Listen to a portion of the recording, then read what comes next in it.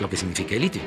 Es un mineral estratégico y que sí va a requerir, porque estuve este, leyendo comentarios, de que para qué vamos a tener el litio si nos va a faltar la tecnología. Sí, pero ahí vamos a ir eh, desarrollando la tecnología.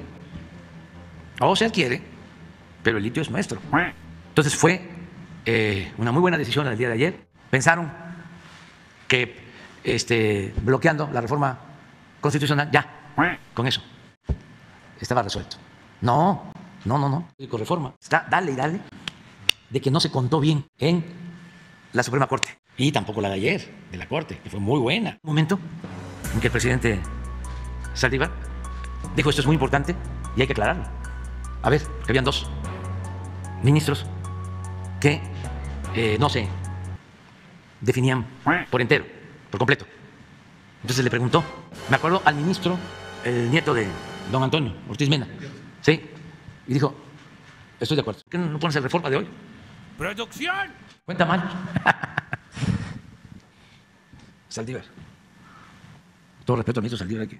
Y hoy en el Senado se va a ver también lo de la ley de litio. Sí, son tres hojas. La ley, son tres hojas. ¿Cómo no las van a buscar? O sea, si a mí me importa, no, pero aceptando sin conceder.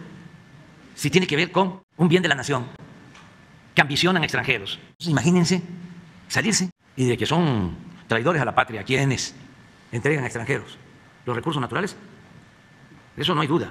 No actuaron de manera consecuente. Pero ya, este, cada quien en su sitio. Nada de andar simulando. Fuera máscaras. Soy independiente. No tengo partido.